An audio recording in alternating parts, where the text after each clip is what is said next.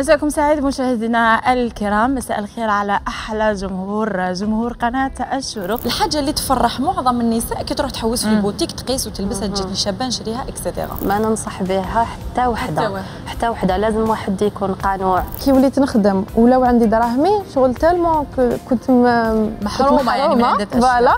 donc وليت وش يطيح في يدي نروح نشريه. ننصحك للانتشار أكثر.